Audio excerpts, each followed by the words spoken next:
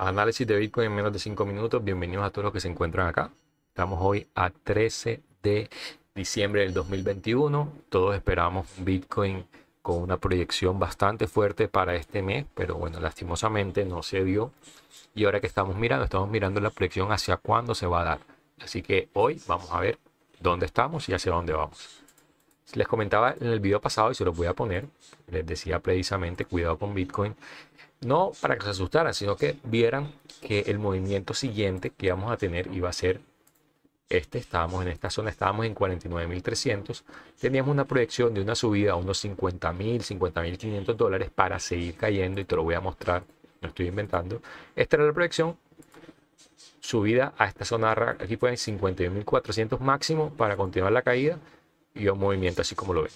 Este es el movimiento que estábamos esperando ya llegó a esta zona y otra vez está descendiendo por la parte inferior para buscar nuevas zonas. Entonces vamos a pasarnos a la gráfica del momento y vamos a ver Bitcoin qué está haciendo, porque eso es lo que nos interesa ahora. Ya lo pasado, bueno, ya pasó y vamos a ver qué está haciendo. Esta es la proyección que esperamos del movimiento, eh, cierto rango por toda esta zona de aquí. Miren lo que hizo el movimiento. Esto es la misma, misma gráfica que tenemos.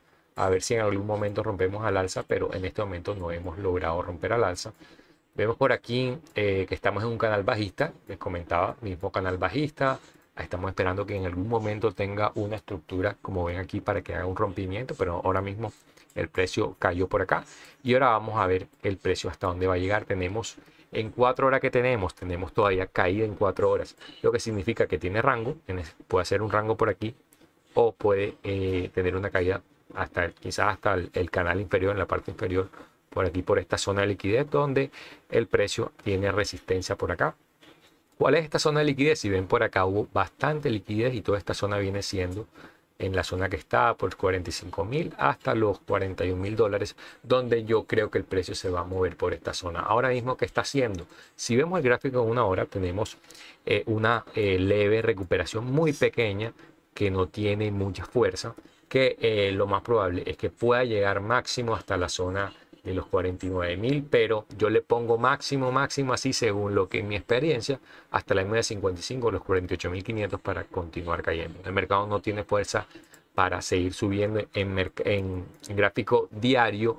Podemos observar que todavía tenemos fuerza bajista, no se ha girado el ADX con fuerza, tenemos, podemos seguir bajando sin problema, pero mi zona de rango, mi zona de, de todo el movimiento donde se va a presentar viene siendo por la zona de aquí que ven esto, bastante volumen tenemos a donde el precio podría llegar fácilmente a unos 42 mil a unos 43.500 dólares para ver si rebota y busca la zona superior que puede ser los 50.000, 50.500 dólares nuevamente donde puede rebotar. Pero en este caso te cuento de que mientras no tengamos una entrada alcista con fuerza en diario, no vamos a tener fuerza para seguir subiendo. Por ahora le queda un poco de caída, rango caída, se puede mover con este por, acá, puede hacer cierto rango, a ver si sube y tocamos por acá, por esta zona para seguir rangueando. ¿Y por qué te digo que va a seguir rangueando? Porque en gráfico semanal en gráfico semanal todavía le queda recorrido, puede estar por esta zona de aquí, bajar un poco más, hacer rango, hasta que nos dé entrada en semanal para unas 3 a 9 semanas aproximadamente, creo que yo podría decir, te lo digo por esta razón, miren, precio desde que comenzó a caer nos dio entrada por aquí cuando unos, unos 100 días, y eso si hacemos la proyección por aquí, unos 100 días podría ser, a ver por aquí cuánto es, y aclaro esto para que se vea mejor, de comenzó el valle haciendo como una por aquí más o menos para febrero para ir para el 15 de febrero aproximadamente podría, podríamos tener una entrada en gráfico semanal lo cual nos confirma un rompimiento de ruptura de estructura al alza de los máximos anteriores y vayamos a por nuevos niveles. Este fue el, el análisis rápido hoy. Nos vemos en la próxima. Bendiciones.